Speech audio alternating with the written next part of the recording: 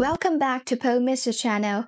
In this video, we will demonstrate how to wire the POW-HVM 6.2M 48V and all-in-one solar inverter using our electric box C distribution box product for the entire demonstration.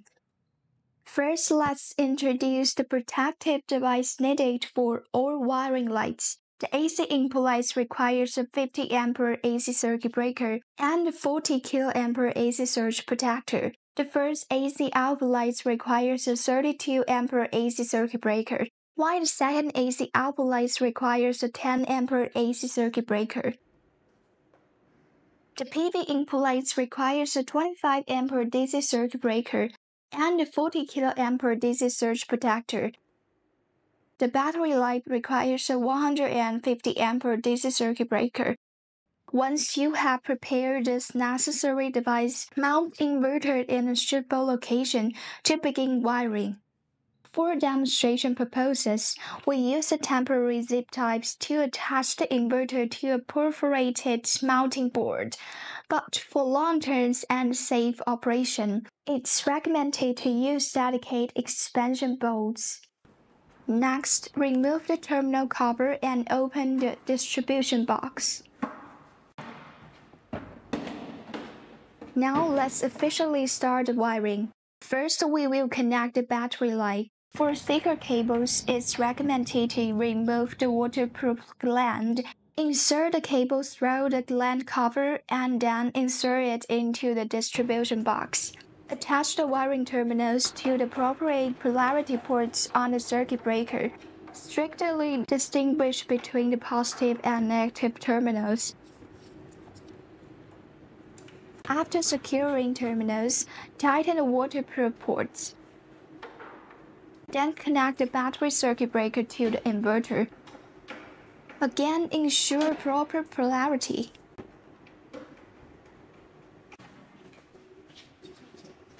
Finally, connect the battery to the circuit breaker and tighten the waterproof port.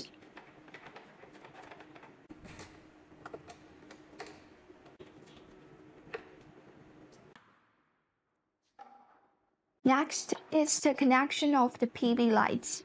Connect the PV wires to the positive and negative terminals of the PV circuit breaker. Then connect the PV input ports of the inverter.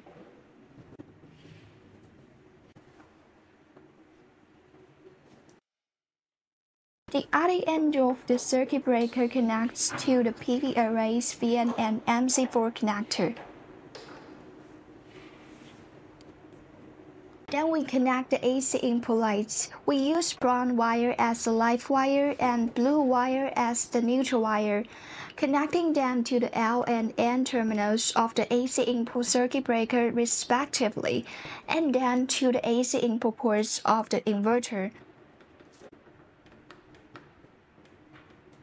Next, connect the first AC output light circuit breaker to the inverter's port, paying attention to distinguish between live and neutral wires. Repeat the same process for the second AC output light circuit breaker and inverter port.